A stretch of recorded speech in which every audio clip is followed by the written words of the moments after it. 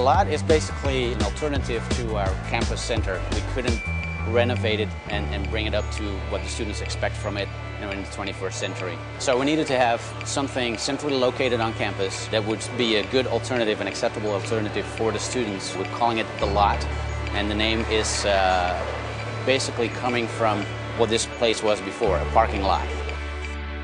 This is a temporary dining commons for the University of Southern California, and it was specifically designed and built for this application. What they're doing is they are rebuilding the student center in the center of campus, and so we took a parking lot and turned it into a temporary dining facility. Behind me you'll see a food court area essentially that is home to eight different food concepts. Wolfgang Puck Express, which has nice wood-fired pizzas and calzones and sandwiches, fast food, quick service such as Carl's Jr., Next door to that, we have Baja Fresh, which has sort of a Mexican type menu, an Asian concept called Zao Noodle, which is very unique and uses a wok range to prepare pad thai type noodle dishes and, and other proteins this side of the building, we have a sandwich concept called Submarina, which is a Southern California sandwich concept, very similar to Subway.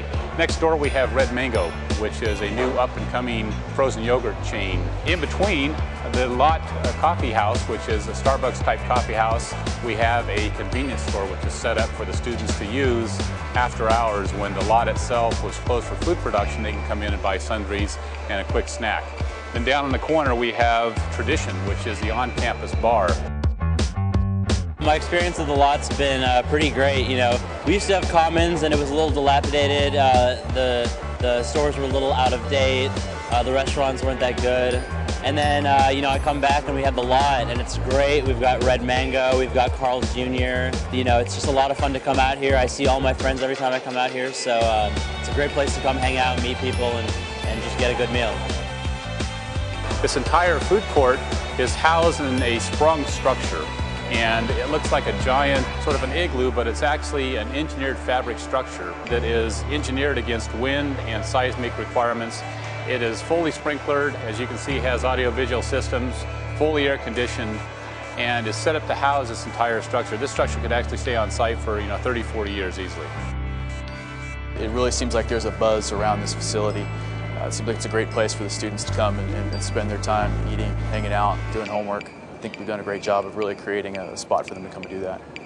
When you start envisioning a temporary dining facility, you kind of think more like a cardboard box perhaps or like you know equipment that's not permanent or you know old equipment or used equipment. But here what we got is a great kitchen and it's fantastic. I mean i, I didn't imagine it. I didn't envision this nice of a place when they said um, temporary dining facility. This area is set up for shipping and receiving and dry storage the two modules, 12 by 56, that run essentially north to south, joined together to form this common storage area. What's unique about this program is that it is set up to where all the concepts actually use common storage, common cold storage, common prep, and common production areas, which is a very unique concept in food service today.